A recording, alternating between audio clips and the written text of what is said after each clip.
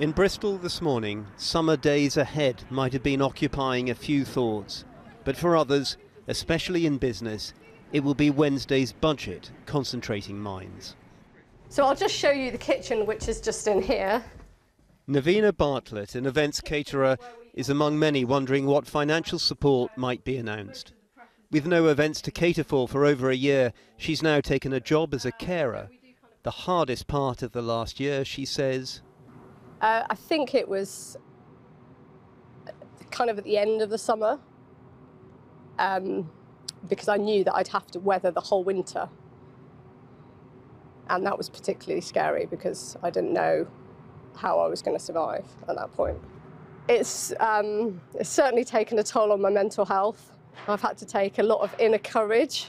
Um, and more recently, I've had to take a job in care. So now I go into people's houses and I help them uh, just as a way of making some money just to, to tide me over until things get up and running again. For those on the high street and in hospitality in England came news today of a £5 billion scheme with equivalent funding for the other UK nations. Grants of up to £18,000 will be available from April to help shops, restaurants and others reopen, adding to support like furlough and business rates relief. Some businesses argued it didn't go far enough. The Chancellor said it was the right thing to do, but honesty about public finances was needed too. Well, my priority is to keep supporting British families, businesses, and people through this crisis. I said at the beginning I would do whatever it took to do exactly that, and I remain committed to that. But I also want to level with people about the challenges we face. Coronavirus has had an enormous shock both to our economy and our public finances, and I think it's right to be honest with people about that challenge and be clear about what our plan to address that is. The Chancellor said he couldn't talk in advance of the budget about whether that frank conversation with the public involved changes to taxes, but it was an issue dominating some newspaper headlines today.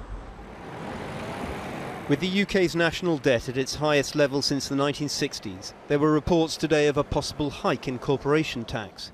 Also, a possible freezing of thresholds at which people start paying basic and higher rates of income tax. Labour claimed it was all being driven by a Tory government already enthralled to its next general election campaign.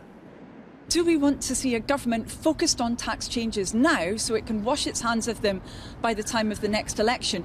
Or a government focused on economic recovery? We really need to see the second. We need our government to be focused on protecting jobs and businesses right now. How to continue trying to shield a battered economy through the fallout of an ongoing pandemic.